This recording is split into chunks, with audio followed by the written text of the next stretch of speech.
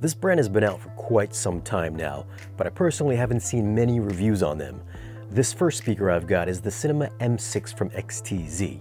It's a fairly compact speaker measuring 9.1 inches wide by 17.3 inches high by 8.7 inches deep and it weighs 19.8 pounds. If we take a look at it from the top, we can see that it's a wedge-shaped design instead of just a regular box. This helps with standing waves inside the enclosure and also adds a slight angle to the speaker. So if you're mounting it against the wall, it'll aim the speaker towards the listening position. This reminds me of my old M&K S150s from back in the day. This is also made from HDF instead of MDF, so it's a super dense feeling speaker. I think the only speakers I've had made from HDF were the Arendals and the Perlistens, and now these. If you know who designed these speakers, then you get a prize. I'm just kidding you get nothing. But if you know, leave a comment down below. Aside from the asymmetrical design, the most unique thing about it would have to be the 4 tweeter array. Now not every tweeter plays up to 30 kHz, only one tweeter does, while the other three tweeters roll off at 3K. This arrangement helps with floor to ceiling reflections and since there's four, which allows them to go down to 1.2 kHz. These are all 1-inch silk dome tweeters flanked by two 5 quarter inch mid-woofers. It's got a frequency response of 58 Hz up to 30 kHz. Around back, you can mount these to your wall using either the keyhole slots, or these are pre-threaded if you want to flush mount these using XTZ's mounting kit, or if you'd rather, they also have optional floor stands. They're also bi-wireable and bi-ampable. I've got three of these in, which I'm going to use for the front three channels, left, right, and center. For surrounds, I've got four pairs of the Cinema S5s. This has got the same 1-inch tweeters that go down to 1.2K, but instead of four, there's two, and it's got a single 4.5-inch midwoofer up front. On the sides of the speaker, this has got two 3-inch full-range drivers that you can configure to operate as either a dipole speaker, which allows the sound to fire from only these side drivers.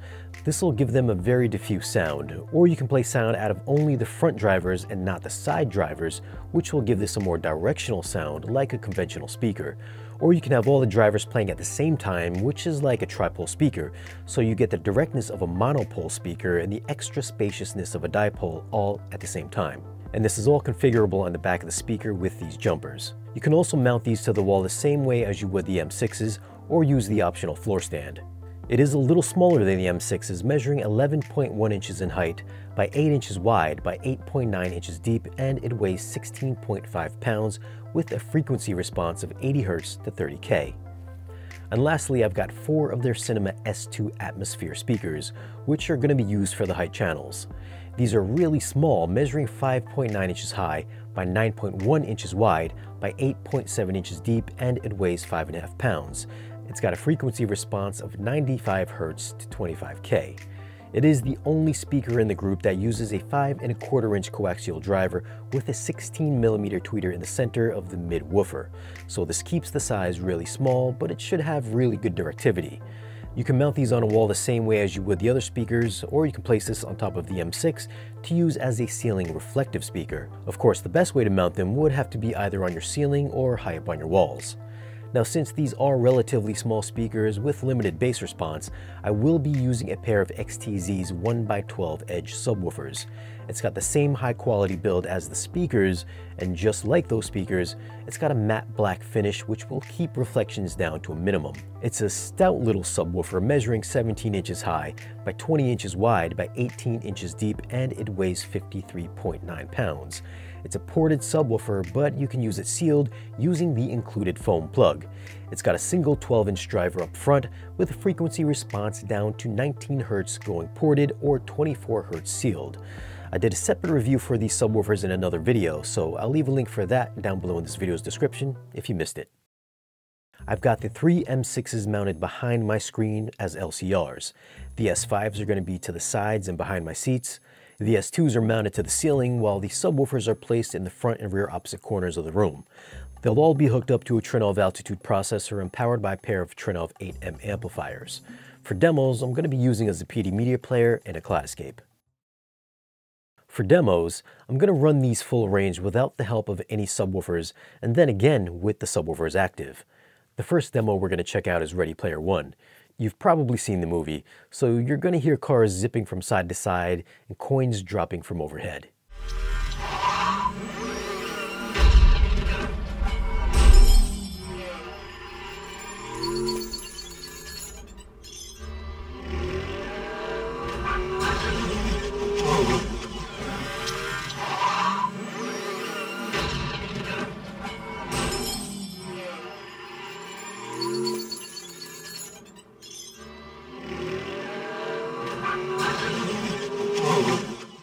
The system is clearly meant to be used with a subwoofer and not full range.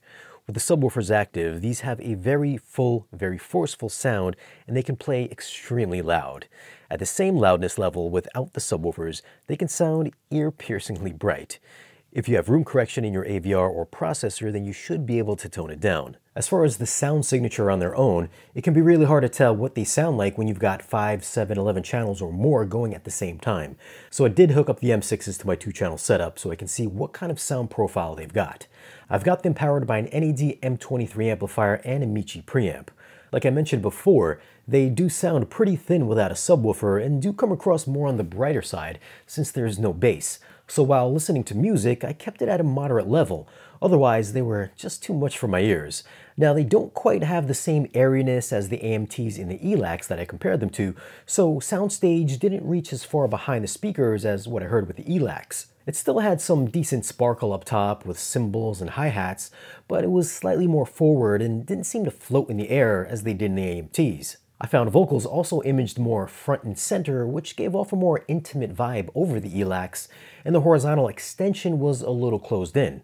And one thing about how they imaged the center vocals, it doesn't really have a laser sharp Fender center channel image. In contrast, the vocals sounded like they were pencil thin on the ELACs, while the XTZ's center image was, I want to say, maybe as wide as a basketball. I know these are not hi-fi audiophile type of speakers, so I wasn't expecting that type of refinement. But for home theater, having that bigger sweet spot means better seat coverage for more than just one person. So I'd say that these are definitely more home theater centric rather than for two channel.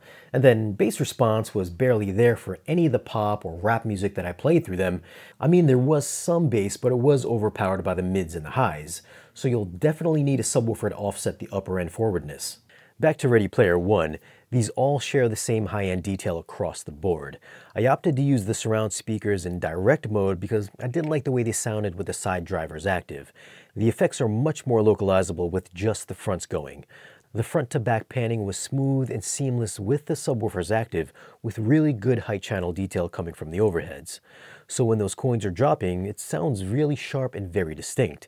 If you were to run these full range because you simply can't have a subwoofer, then this is when you're going to notice the difference in timbre between all the speakers. As you'd expect, the M6s have a deeper sound over the surrounds, and they are a bit brighter. The S5s don't go as deep as the M6s, but are noticeably beefier sounding than the S2s. The S2s are a true satellite speaker with no real usable bass. It's pretty much all highs. But like I said, the top end was very detailed and made it very easy to pinpoint which effects were coming from their respective spots in space. But for me personally, it is a tough setup to listen to without a subwoofer unless you're listening at really low volumes. The next demo we're going to check out is Quiet Place. It's got a very atmospheric mix that's quiet yet still very active, which will engage all of your speakers.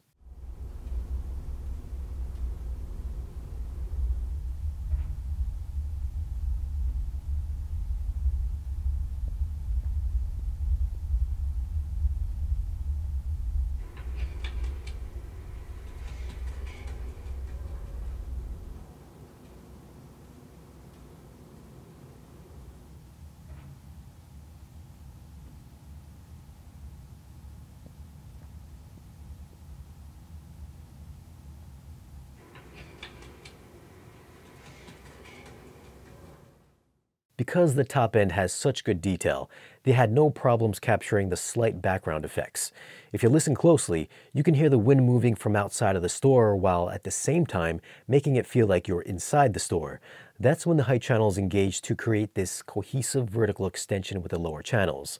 The footsteps tracked perfectly across the front stage, and with the subwoofers active, you get this low harmonic bass note that provides for a little pressure throughout the room when we're looking at the scene from the daughter's perspective.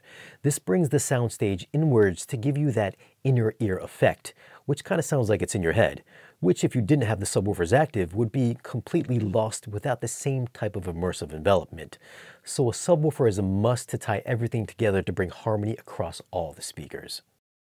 I will give you so much more. You'll die first. I have died before. The dark side of the Force is a pathway to many abilities some consider to be unnatural.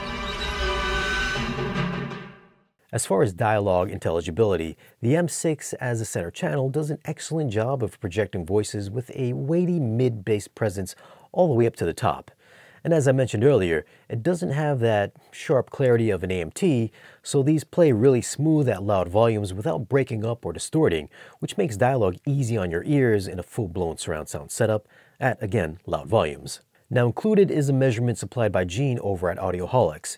He's also got a written review of the same setup with a different sub on his website as well, so be sure to stop by to check that review out. This shows the bass response of the M6. You can see that it starts to drop off at around 100 Hz, so as indicated, you will definitely need a subwoofer. And if you want to see how the subwoofers perform, I'll leave a link for that review down below in this video's description. At the time of this video, the XTZ Cinema M6 is selling for $1,490 a pair. The Cinema S5 is $985 a pair. The S2 Atmosphere speakers are $349 a pair, and the 1x12 Edge subwoofer is selling for 999 each. The subwoofer is one of the best sounding subs for $1,000 out there right now. And the thing is, it's been available for many years, and nobody's really talked about it.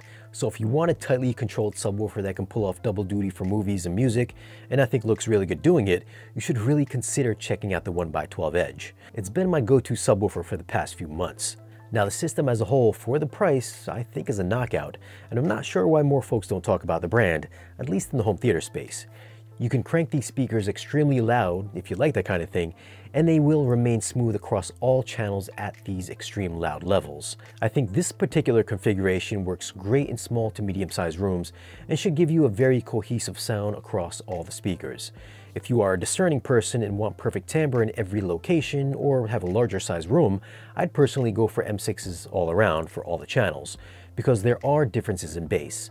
If a car or a helicopter moves from front to back or over top, you can tell which channel sounds thinner than the others. And for the non-believers, the surround channels really do produce bass, so don't skimp out on your surrounds, the lower channels or the high channels. Now they do make bigger versions of these speakers, the M8 and the M8 Towers. If they share the same finesse and detail on the upper end, except with deeper bass extension, those should be even better for larger spaces and possibly perform better for music. All that being said, if I was putting together a home theater and didn't have a huge budget or even a big space, these are truly impressive speakers for the money and they're built way better than most of the stuff you find in say a Best Buy.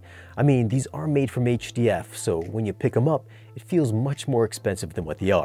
I'm impressed and I'm gonna be sad to see him go. So what are your thoughts? Have you guys ever heard of XTZ? Leave a comment down below and let me know. Well, thanks for watching. Subscribe if you haven't already, and I'll see you in the next video.